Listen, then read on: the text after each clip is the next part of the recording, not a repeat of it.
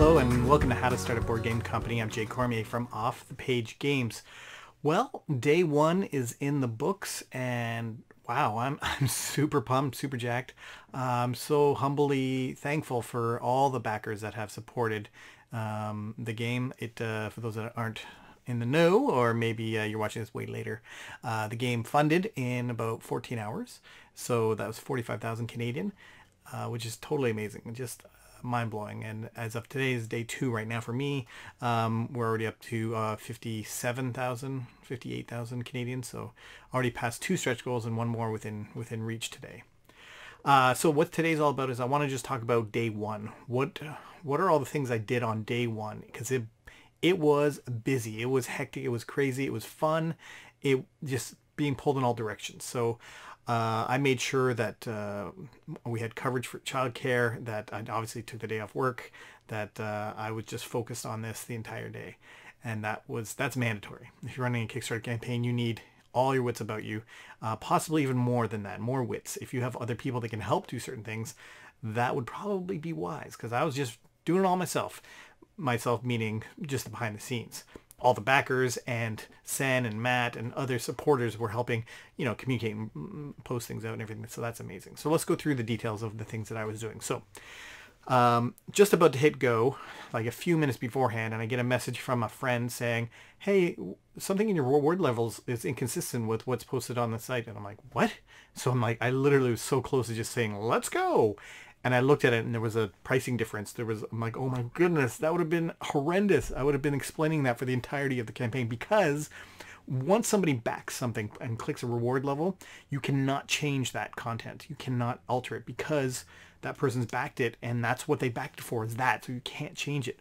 So double, triple, quadruple check that your reward levels are worded perfectly. And if you have like dollar amounts in there of any kind, be sure they're exactly what you want them to be.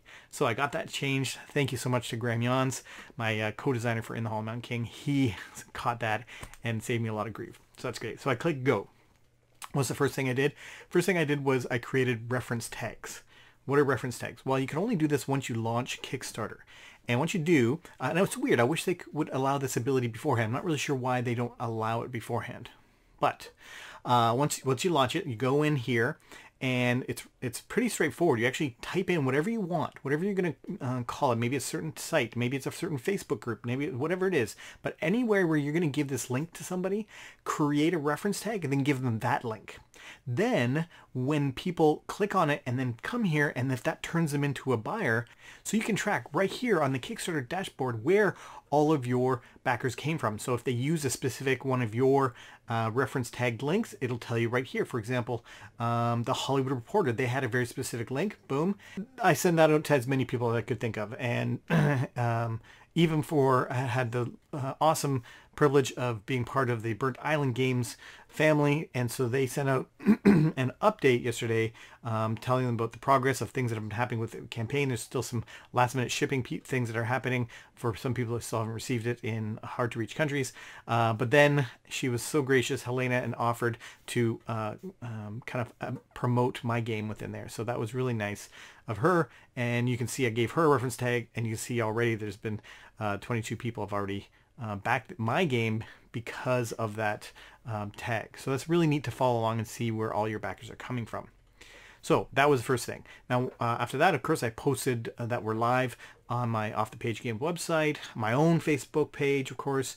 Um, but I had, uh, one thing I forgot to do is I didn't create like a we're live graphic, like come, you know, come back us now kind of thing. And so I kind of made one really quick uh, and posted that out. So that was a, few minutes of uh, like frantic, like, ah, what am I going to post? Throughout the rest of the day, I was on the Facebooks and the Twitters and the Instagrams, just um, uh, sharing all sorts of, there's a lot of news sources that started carrying uh, this this uh, news that we were live that this and it's just wild. We had somebody help us with the PR and get out this information a bunch of different sites. And just amazing help. And um, so I just resharing out like hey now this site's talking about us. Now this site's talking about us. So that was cool. But then also throughout the day, just my Twitters and my Facebooks was just exploding all the time, just growing in numbers because people were sharing and talking about the game, which was so nice, and commenting on it. And I really feel I want to make sure I have a personal connection with everybody that does this. So I have to go on and have to comment. I'm like, thank you so much. This means the world to me. It's amazing. Um, and that takes time. So you got to do a lot of that kind of social media upkeep. Um, uh, then I also had to create the FAQ. So I had already pre-created the FAQ, kind of written it all out. So then you have to copy and paste it because you can't do that again until Kickstarter's live. Uh, I also got the new Quackalope video in the day of. So this was a uh, how-to play.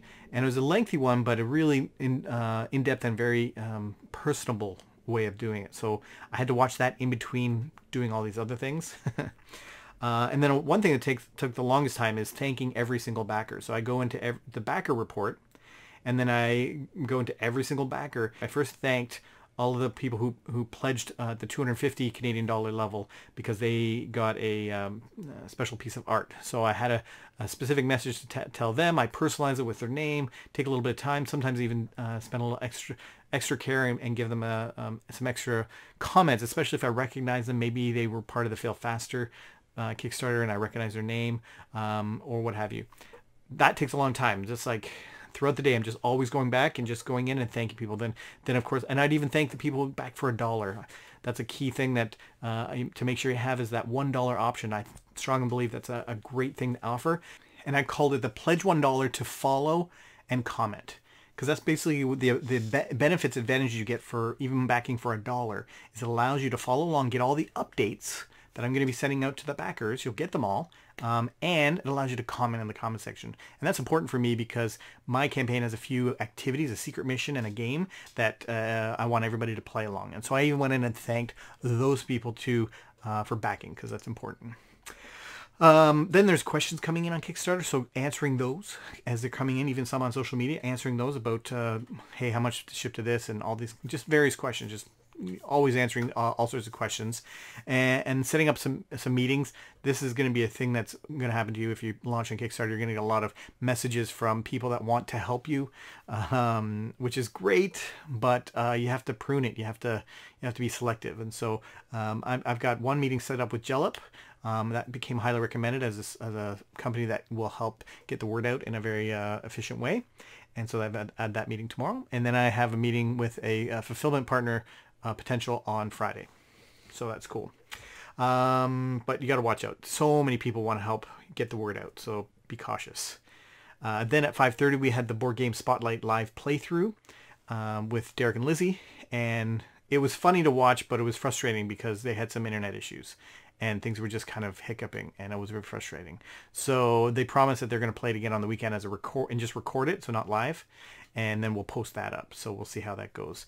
Um, but it was also funny because I was like trying to communicate to Derek because he was doing some things that were um, not the best way of doing it. Everyone plays differently. It's totally fine, but I was trying to help him. I'm like, hey, don't do that. And hey, remove, hey, watch out for this. And he wasn't seeing it. And uh, it was very funny because he just assumed once he had some information that she was going a certain direction and she was then therefore up here.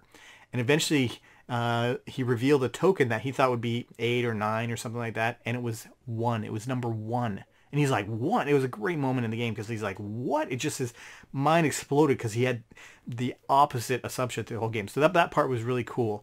Uh, it's just the internet was just uh, doing something wonky, or YouTube or something was was wonky. I'm not sure.